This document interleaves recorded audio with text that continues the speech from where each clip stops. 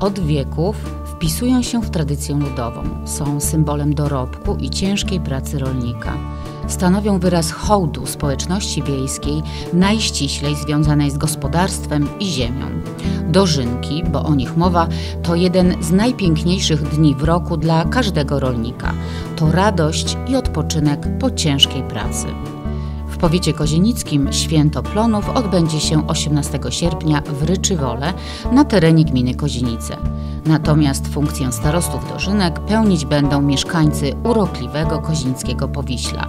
Klaudia Szewc z Wólki Tyżyńskiej B oraz Krzysztof Karaś z miejscowości Holendry Kozienickie. Klaudia Szewc swą przygodę z rolnictwem rozpoczęła wychodząc za mąż za Michała, w którego piersi bije prawdziwe serce rolnika. Od trzech lat są małżeństwem, ale już w narzeczeństwie pani Klaudia angażowała się w pracę na roli. Myślę, że z roku na rok jest już coraz lepiej.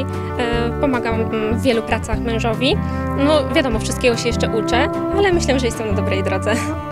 Choć rolniczej pasji nie wyniosła z domu, wspólnie z mężem z oddaniem i dumą prowadzi gospodarstwo w Wólce Tyżyńskiej B. E, Mąż przejął gospodarstwo w 2015 roku po rodzicach. E, Było to małe gospodarstwo o powierzchni 2 hektarów.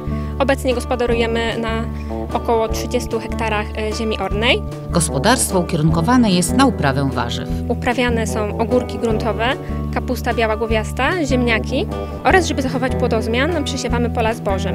Mamy 4 hektary kapusty białej, e, 6 hektarów ogórka gruntowego i 15 hektarów ziemniaków. Warzywa państwa szewc trafiają przede wszystkim na rynki hurtowe, głównie w Radomiu i w Broniszach. Bez względu na pogodę gospodarze starają się, aby ich produkty bez opóźnień docierały do odbiorców. Praca rolnika tak naprawdę pra- warsztat pod chmurą. E, nigdy nie wiadomo, jaka będzie pogoda, czy wystąpi susza, e, czy podtopienia. E, z suszą jesteśmy w stanie sobie poradzić, ponieważ większość upraw mamy nawadnianych. Gospodarstwo starościne wyposażone jest w podstawowy sprzęt potrzebny do uprawy warzyw. Są to m.in. sortownik do ogórków, kombajny ziemniaczane, rozsiewacz nawozu, opryskiwacz ciągany, brona talerzowa i aktywna, agregaty i pługi. Posiadamy dwa ciągniki marki Steyr, e, większy o mocy 100 koni mechanicznych, e, częściowo sfinansowany z programu Młody Rolnik. Później zakupiony został mniejszy, pomocniczy o mocy 65 koni mechanicznych. Ciągnik wyposażony jest w biegi pełzające, które potrzebne są e, do pracy przy samolocie do zbioru ogórków. Państwo szewc mają dwójpółletnią córeczkę, Lenkę, która już teraz uwielbia jeździć z tatą ciągnikiem, a mamie pomaga przy sortowaniu ogórków. To nasz promyczek, no i chcielibyśmy, żeby w przyszłości to ona przejęła nasze gospodarstwo. Nie Tak? chcemy też nic z przymusu, zależy, zobaczymy jakie będzie miała córka zainteresowania i wtedy wszystko się okaże. Rozwój gospodarstwa dla młodych rolników jest niezwykle istotny, jednak każda decyzja podejmowana jest po dokładnej analizie. Ostatnie lata cenowo na warzywa naszym zdaniem były dobre, stąd też rozwój gospodarstwa, budowa przechowalni płodów rolnych.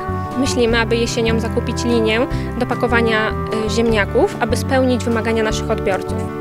Mimo iż praca na roli jest bardzo wymagająca i czasochłonna, to gospodarze znajdują również czas na drobne przyjemności i relaks. E, Lubię gotować, lubię piec ciasta, tak. E, To jest takie właśnie odstresowanie moje.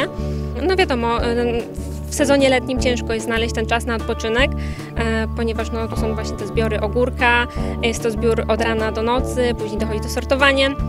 Ale jak już przychodzi już ten czas zimowy, jest czas wytchnienia, mamy więcej czasu dla siebie i wtedy po prostu odpoczywamy.